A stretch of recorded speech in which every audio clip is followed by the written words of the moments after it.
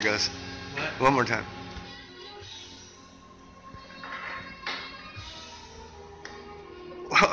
Fuck, dude. No, hell no. You know, like like you can look at that skull right there.